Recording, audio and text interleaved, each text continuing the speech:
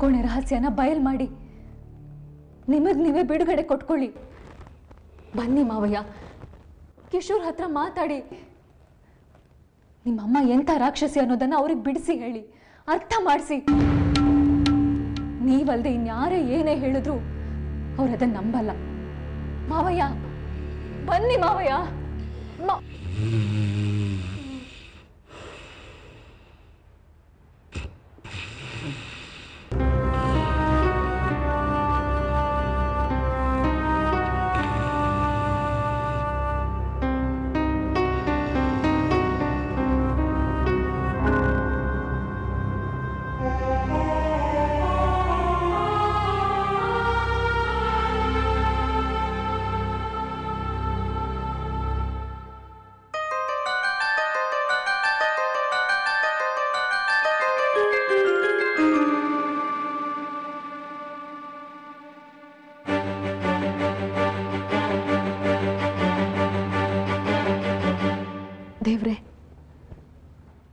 ಮನೆ ಸಂತೋಷ ಕಾಪಾಡ್ತೀನಿ ಅಂತ ಈ ಮನೆ ಕಾಲಿಟ್ಟಿದ್ದೀನಿ.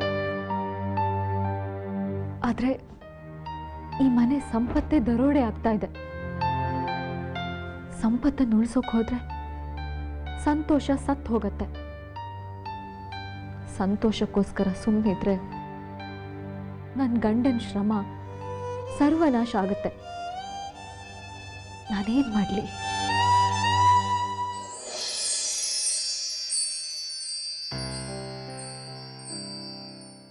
ಒಂದು ನಿಮಿಷ ಬನ್ನಿ.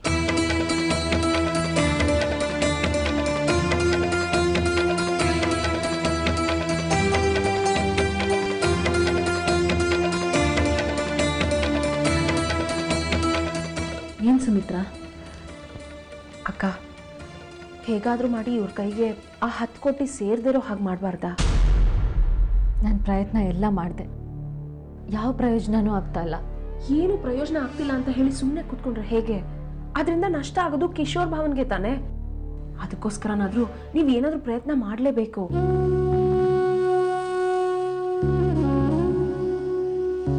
ನಂಗಂತೂ ಏನೂ ತೋಚ್ತಾ ಇಲ್ಲ.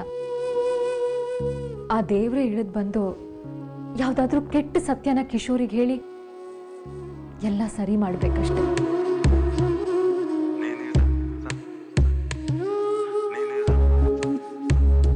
ಈ ಥರ ದೇವ್ರ ನಂಬ್ಕೊಂಡು ಕೂತ್ಕೊಂಡ್ರೆ ಆಗತ್ತಾ ಅಕ್ಕ? ಏನೋ ದೇವ್ರ ಮೇಲೆ ಭಾರ ಹಾಕ್ಬಿಟ್ಟು ಇರೋ ವಿಷಯನೆಲ್ಲ ಕಿಶೋರ್ ಭಾವನ್ಗೆ ಹೇಳ್ಬಿಡಿ. ಅವ್ರು ನಂಬಲ್ಲ ಸುಮಿತ್ರಾ. ನಾನು ಏನು ಮಾಡಲಿ? ನಿನಗೆ ನನ್ನ ಮೇಲೆ ಕೋಪನೇ ಬರ್ತಾ ಇಲ್ವಾ? ಯಾಕೆ ಹೀಗೆ ಕೇಳ್ತಿದ್ದೀರ ಅಕ್ಕ? ನಾವಿಬ್ರು ಒಂದೇ ಮನೆಗೆ ಸೊಸೆ ಅಂದ್ರು. ಇಬ್ಬರಿಗೂ ಸಮಾನವಾದ ಅಧಿಕಾರ ಹಕ್ಕು ಇದೆ. ಆದರೂ ನಾನು ನಿನ್ನ ಗಂಡನಿಗೆ ಸೇರ್ಬೇಕಾದ ದುಡ್ಡನ್ನ ಕಿತ್ಕೊಳ್ಳೋಕೆ ಟ್ರೈ ಮಾಡ್ತಾ ಇದ್ದೀನಿ. ಸಿಟ್ಟು ಬರ್ತಾ ಇಲ್ವಾ ನಿಂಗೆ? ಖುಷಿ ಪಡೋವಂಥ ವಿಷಯನ ಅಕ್ಕ ಇದು. ಒಂದು ವೇಳೆ ನನ್ನ ಗಂಡ ಒಳ್ಳೆಯವನಾಗಿ ಒಳ್ಳೆ ಉದ್ದೇಶಕ್ಕೋಸ್ಕರ ದುಡ್ಡು ಕೇಳಿ ನೀವೇನಾದರೂ ಅದನ್ನು ತಡೆದಿದ್ರೆ ಆಗ ನನಗೆ ಖಂಡಿತವಾಗ್ಲೂ ಬೇಜಾರಾಗ್ತಿತ್ತು. ಆದರೆ ನನ್ನ ಗಂಡ ನೋಡೋದಕ್ಕೆ ಮಾತ್ರ ಮನುಷ್ಯ. ಮನುಷ್ಯರಿಗಿರ್ಬೇಕಾದ ಯಾವ ಒಳ್ಳೆ ಗುಣನೂ ಅವ್ರಿಗಿಲ್ಲ. ಇಂಥವ್ರ ಕೈಗೆ ಏನಾದರೂ ದುಡ್ಡು ಸಿಕ್ಬಿಟ್ರೆ ಕಟ್ಕನ್ ಕೈಗೆ ಕತ್ತಿ ಕೊಟ್ಟ ಹಾಗಾಗತ್ತೆ. ಆಮೇಲೆ ಅವ್ರನ್ನ ಹಿಡಿಯೋರೇ ಇರೋದಿಲ್ಲ. ನೋಡ್ ನೋಡ್ತಿದ್ದ ಹಾಗೇನೆ ಆ ದುಡ್ಡು ಹಾಳಾಗಿ ಹೋಗುತ್ತೆ. ಜೊತೆಗೆ ಅವರು ಹಾಳಾಗಿ ಹೋಗ್ತಾರಷ್ಟೆ. ಅವ್ರು ಮಾಡೋ ದರಿದ್ರ ಮೋಜು ಮಸ್ತಿಗೆ ಕಿಶೋರ್ ಭಾವನ ಶ್ರಮದ ದುಡ್ಡೇ ಆಗ್ಬೇಕಾಕ ಒಬ್ರು ಬೆವರಿನ ದುಡ್ಡಲ್ಲಿ ಇನ್ನೊಬ್ರು ಶೋಕಿ ಮಾಡ್ತಾರೆ ಅಂದ್ರೆ ಅದನ್ನ ನಾನು ಯಾವತ್ತೂ ಒಪ್ಕೊಳ್ಳೋದಿಲ್ಲ. ಅದಕ್ಕೆ ನಾನಾಗೆ ನಿಮ್ಗೆ ಹೇಳ್ತಾ ಇದ್ದೀನಿ. ಪ್ಲೀಸ್, ಹೇಗಾದರೂ ಮಾಡಿ ಇದನ್ನ ತಪ್ಪಿಸಿ ಅಂತ.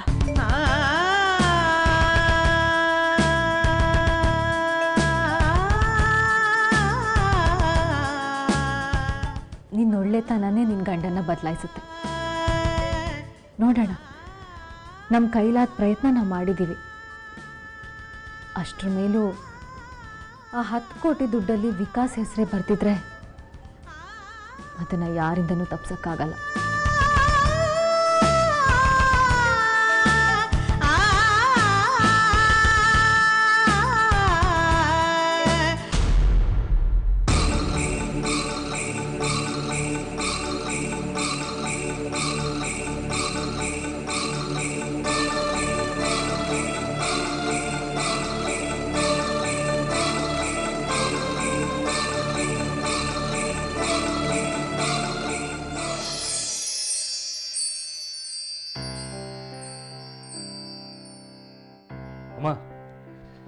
ನೀನು ಹೇಳಿದಾಗೆ ವಿಕಾಸ್ಗೆ ಇವತ್ತು ಹತ್ತು ಕೋಟಿ ಕೊಡ್ತಾ ಇದ್ದೀನಿ.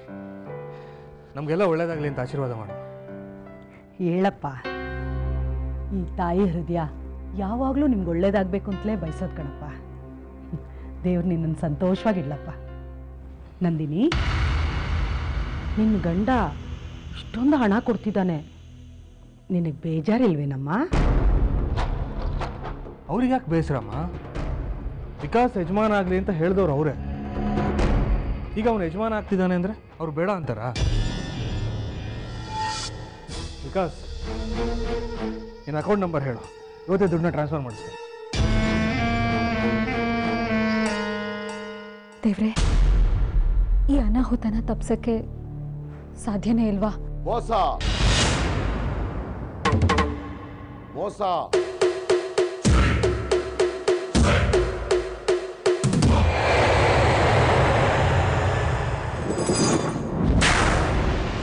ಮೋಸ.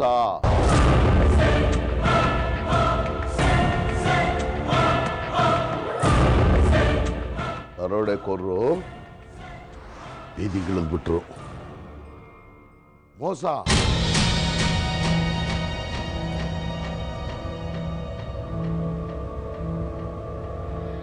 ಮೋಸ.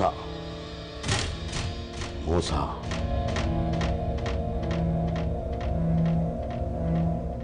ಯಾರಿಗೆ ಮೋಸ? ಯಾರು ದರೋಡೆಕೋರರು ಅನ್ಯಾಯ. ಕುಬೇರನ ಮನೆಗೆ ಕಳ್ಳ ಬಂದಿದ್ದಾನೆ. ಯಜಮಾನಂಗೆ ಯಾವತ್ತು ಮೋಸ ಆಗಬಾರ್ದು.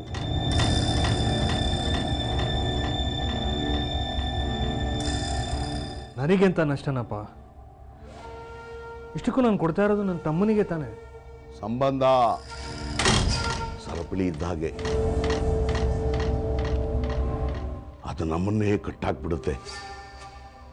ಹಾವು ಹಾಲು ಹೇಳಿದ್ರೆ ಅದು ನಮ್ಮನ್ನೇ ಕಚ್ಚುತ್ತೆ.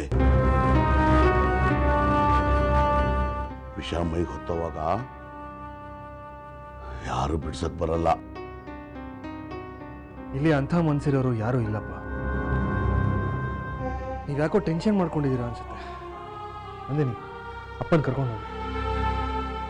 ಇಲ್ಲ ರೀ. ಮಾವಯ್ಯ ಸುಮ್ ಸುಮ್ಮನೆ ಏನೂ ಹೇಳೋದಿಲ್ಲ. ಅವ್ರು ಹೇಳೋ ಮಾತಲ್ಲಿ ಏನೋ ಅರ್ಥ ಇದೆ ಅನ್ಸತ್ತೆ.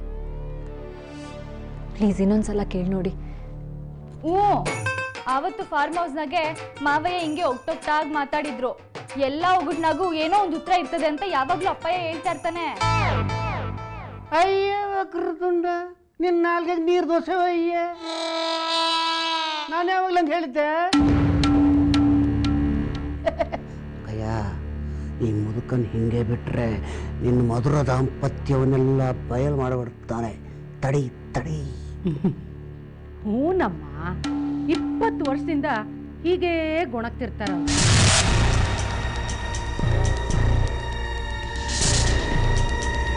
ಅದನ್ನ ನೀವೆಲ್ಲ ಯಾಕೆ ಸೀರಿಯಸ್ ಆಗಿ ತಗೊಳ್ತೀರಾ?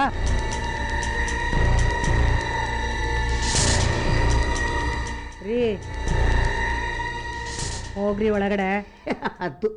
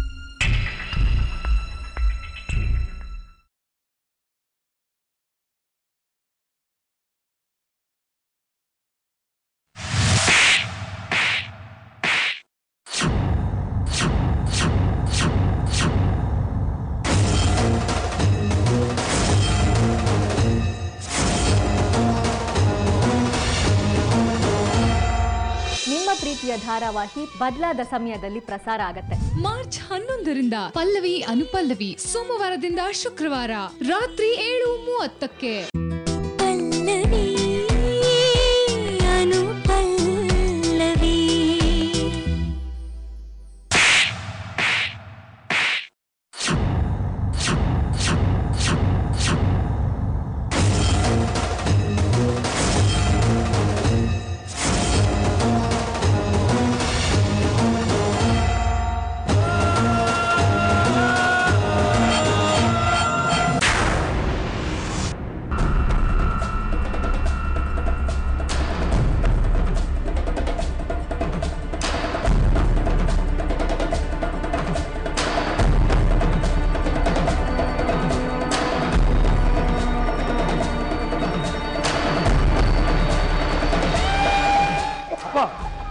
ಅಮ್ಮನೇ ಕುಡಿತಾ ಇದ್ದಾರೆ? ಬಿಡಿ. ಬಲಗಾತಿ ಆಲದ ಮರದಲ್ಲಿ ಹೆಣ ಬಿತ್ತು. ಕೊಲೆಗಾರ್ತಿ. ಯವ್ವಿ ನಾ ಕೆಟ್ಟೆ ನಾನ್ ಕೆಟ್ಟೆ ಕೊಲೆ ಕೊಲೆ.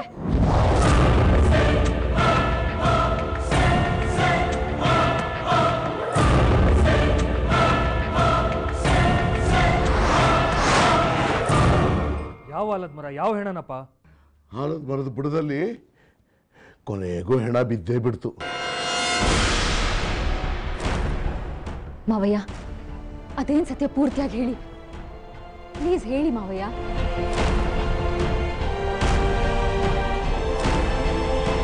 ಆಲದ ಮರದಲ್ಲಿ ಕಡೆಗೂ ಹೆಣ ಬಿದ್ದೇ ಬಿಡ್ತು. ಆಲದ ಮರದಲ್ಲಿ ಕಡೆಗೂ ಹೆಣ ಬಿದ್ದೇ ಬಿಡ್ತು.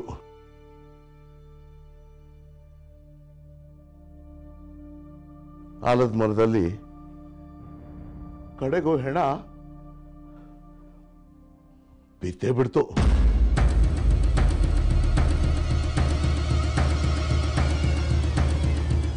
ಆಲದ ಮರದಲ್ಲಿ ಕಡೆಗೂ ಹೆಣ ಬಿದ್ದೇ ಬಿಡ್ತು.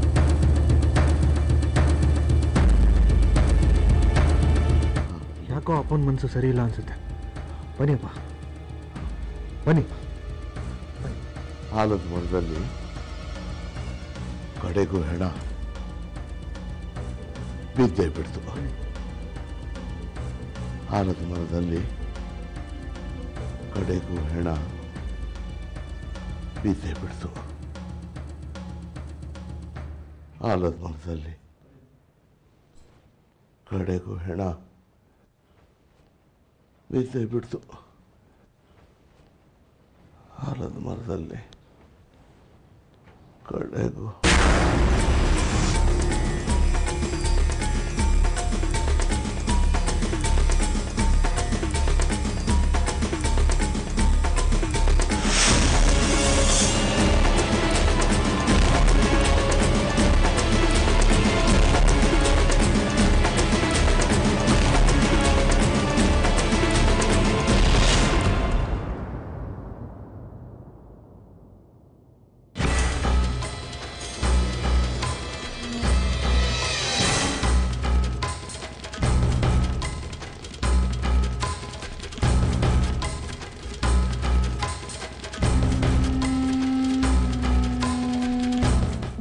ಇನ್ನೇನಾದ್ರೂ ಹೇಳಿದ್ರಾ? ಇಲ್ಲ ನಂದಿನಿ. ಆದರೂ ಯಾಕೋ ಬೇಜಾರಾಗ್ತಾ ಇದೆ. ಅಯ್ಯೋ ವಕ್ರತುಂಡ ಆ ಪತ್ರಕ್ಕೊಂದು ಸಿಗ್ನೇಚರ್ ಮಾಡ್ಬಿಡಪ್ಪ. ಬೇಜಾರೆಲ್ಲ ಹೊಂಟೋಯ್ತದೆ ಅಲ್ವೇನಕ್ಕಯ್ಯ?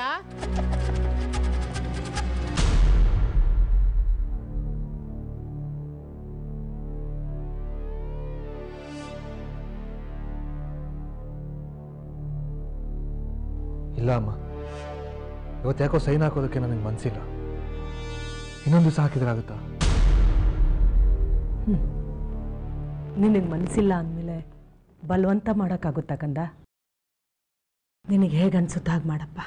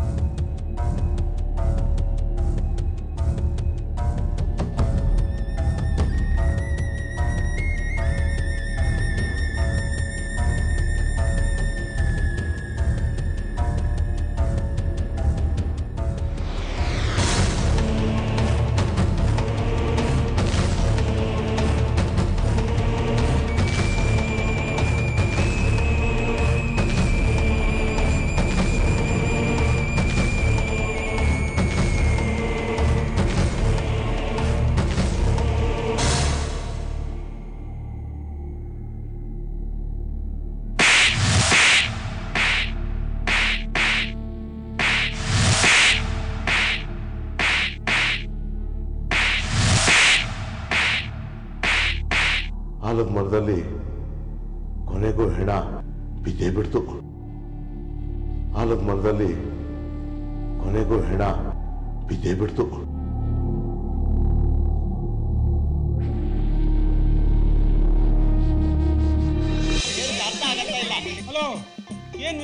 ಏನಿಲ್ಲ ಡೈರೆಕ್ಟರ್ ಸರ್ ಮಾರ್ಚ್ ಹನ್ನೊಂದರಿಂದ ಬದಲಾದ ಸಮಯದಲ್ಲಿ ಪ್ರೀತಿಯಿಂದ ಸಂಜೆ ಆರು ಮೂವತ್ತಕ್ಕೆ.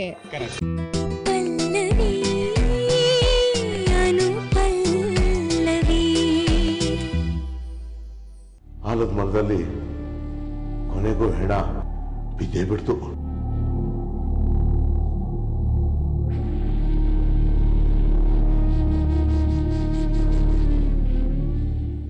ಏನ್ ಯೋಚನೆ ಮಾಡ್ತಾ ಇದ್ದೀರಾ? ನಮ್ಮನೇಲಿ ಇವತ್ತು ಏನೇನೆಲ್ಲ ಆಗೋಯ್ತಲ್ಲ ಅಂತ. ಕಾರಣ ಇಲ್ಲದೆ ಏನೂ ಆಗಿರಲ್ಲ. ಈಗಲಾದರೂ ಅರ್ಥ ಮಾಡ್ಕೊಳ್ಳಿ. ಈ ಮನೇಲಿ ನಿಮಗೆ ಗೊತ್ತಿಲ್ದಿರೋ ಎಷ್ಟೋ ರಹಸ್ಯಗಳಿದ್ದಾವೆ ಅದೆಲ್ಲ ಮಾವಯ್ಯಂಗ್ ಗೊತ್ತು. ಏನೋ ಗೊಂದಲ ಅನಿಸ್ತಾ ಇದೆ. ಅನುಮಾನ ಶುರುವಾಗ್ತಾ ಇದೆ.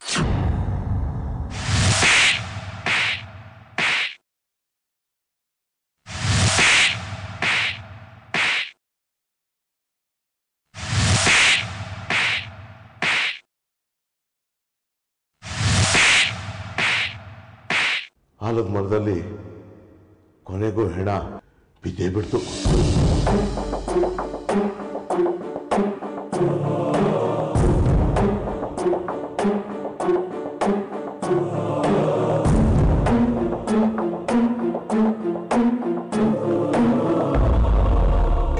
ಆಲದ ಮರದಲ್ಲಿ ಕೊನೆಗೂ ಹೆಣ ಬಿದ್ದೇ ಬಿಡ್ತು.